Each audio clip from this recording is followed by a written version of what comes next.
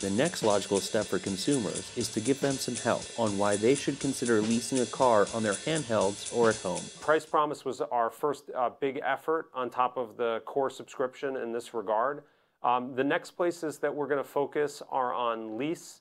Uh, we, we see their lease promise being an, a very natural adjunct to price promise.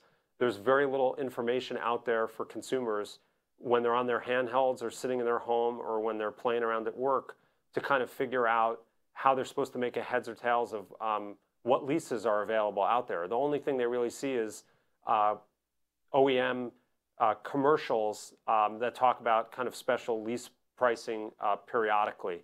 Uh, but we, we know that uh, leasing has become a much more significant factor in the American landscape, particularly given uh, where financing has gone and the federal government's kind of cheap money policies. So for the first time ever uh, in 2013 and into 14, uh, we're breaking through where more than one out of every four cars sold is through a lease.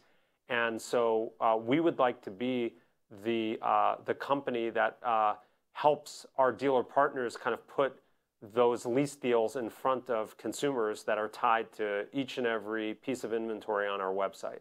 So I think that that's the next um, immediate uh, place for us to go.